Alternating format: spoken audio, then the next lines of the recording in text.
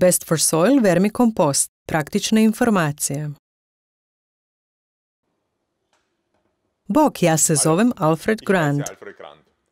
Ovaj video zapis Best for Soil daje uvod u proizvodnju i primjenu vermikomposta. Na kraju videa pronaći ćete dodatne informacije o tim temama. Pogledajte ostale videozapise Best for Soil na teme komposta i zdravlja tla. Kompost je proizvod koji nastaje mikrobnim raspadanjem organske tvari u aerobnim uvjetima. Ovisno o načinu kompostiranja, veličini, intenzitetu operacije i ulaznom materijalu, može se proizvesti veliki raspon komposta s različitim kvalitetama. Vermikompostiranje je najprirodniji postupak kompostiranja. Uključuje epigene zemljane gliste kao što je Eisenia fetida. Važno je ne prelaziti 35 stupnjeva Celzijusa, u protivnom bi se zemljani crvi mogli uništiti. Vermikompost ima najveću raznolikost u mikrobima, a smatra se da pomaže u suzbijanju patogena, ali ne uništava ili deaktivira sjeme korova. Stoga se u proizvodnji većih razmjera preporučuje kombinacija termofilnog kompostiranja i vermikompostiranja. Zbog jedinstvenih karakteristika vermikomposta, on se obično ne koristi poput komposta i ne širi po terenu u visokim količinama primjene. Pored mikrobne raznolikosti, vermikompost ima veću gustoću hranjivih tvari koje su više dostupne biljkama. Uz to vermikompost sadrži značajne količine fitohormona poput auksina, giberelina i citocinina.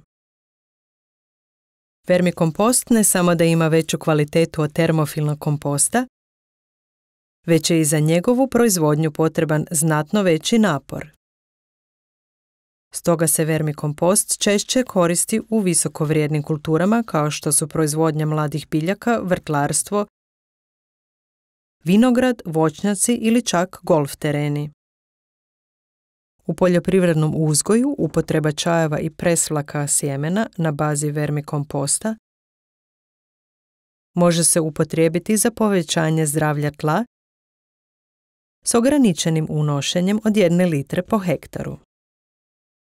U većini zemalja članica EU-a gotovo da i ne postoje posebni propisi za vermikompostiranje. Pogotovo ako se proizvodi u zatvorenom, ne treba se bojati emisija poput mirisa ili otjecanja. U nekim državama EU-a propisi smatraju vermikompost gnojivom, a ne kompostom. Za razliku od termofilnog kompostiranja, kod vermikompostiranja nema minimalnog volumena. Značajne količine koje će se koristiti za proizvodnju trebale bi proći proces od dva koraka. Prva faza je termofilna faza ubijanja sjemena korova i potencijalnih biljnih ili ljudskih patogena. Ovaj korak također razdvaja resurse, homogenizira ih i omekšava, te pomaže u stabiliziranju materijala što bi u suprotnom kasnije podiglo temperaturu u procesu vermikompostiranja i ubilo gliste. Ako će se resursima izravno hraniti gliste, gnoj od životinja koje jedu bilje poput konja, krava ili ovaca je dobar izbor. Ako se prije vermikompostiranja provodi termofilni postupak, organske sirovine mogu biti raznovrsnije.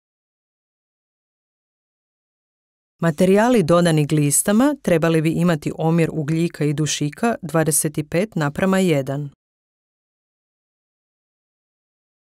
Zemljane gliste imaju uzak raspon preferiranih okolišnih uvjeta kako bi se omogućila optimalna produktivnost. To bi trebalo redovito pratiti i kontrolirati. Optimalna temperatura je između 15 i 30 stupnjeva Celzijusa, a za preživljavanje glista bitno je da je ona između 0 i 40 stupnjeva Celzijusa. Poželjni udio vlage je između 60 i 80%. Kisik mora biti dostupan u području vermikompostiranja što je također osigurano protokom zraka. Stoga pokrivač mora imati dobru fizičku strukturu. pH vrijednost materijala treba biti između 5 i 8, a razina soli ne smije biti previsoka. Profesionalne operacije vermikompostiranja rade se tijekom cijele godine. Ako lokalna klima zimi ne dopušta proizvodnju, proizvodnja se može raditi u zatvorenom. U unutarnjim sustavima raste interes za postrojenja sa neprekidnim protokom. Osim proizvodnje ovih komposta, važno je nadzirati i kvalitetu proizvedenog komposta. Na ovu temu pripremili smo i videozapis Best for Soil. Propisi koji se odnose na primjenu vermikomposta razlikuju se u svakoj državi članici EU-a.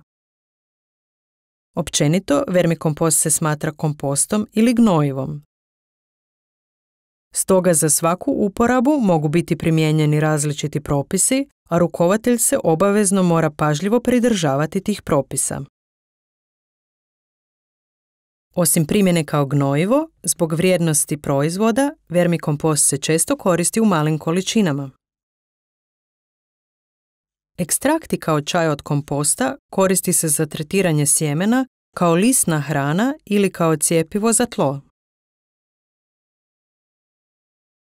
Vermikompost se također može koristiti za uzgoj sjemena ili kao dopuna za substrat tla ili kao stimulator za vinograde ili voćnjake.